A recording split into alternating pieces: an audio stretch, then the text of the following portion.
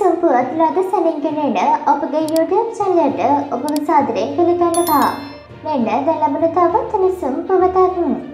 බස්නාහිර සබරගමුව සහ දකුණු පළාත්වලත් පුත්තලම මහනුවර සහ නුවරඑළිය දිස්ත්‍රික්කවලත් වැස්වර කිහිපයක් ඇතිවිය හැකි බව කලුතුරු විද්‍යා දෙපාර්තමේන්තුව නිවේදනය කොට සිටිනවා.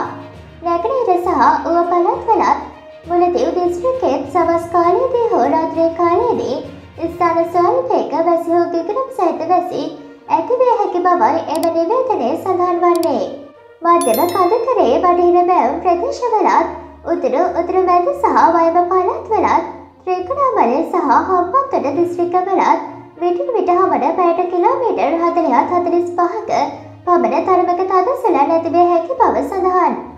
ගිගරුම් සහිත වැසි සමඟ ඇතිවිය හැකි තාවකාලික තද සුළන් වලින් සහ අකුණු මගින් සිදුවන අනතුරු අවම කර ගැනීමට අවශ්‍ය පියවර කණ්ඩා ලෙසයි එම දෙපාර්තමේන්තුව ජනතාවගෙන් ඉල්ලා සිටින්නේ. මෙවැරුණු සම්පුවත් ලද සනින් දැනගැනීම සඳහා අපගේ YouTube චැනල් සබස්ක්‍රයිබ් කර බෙල් අයිකනය ක්‍රියාත්මක කරන්න.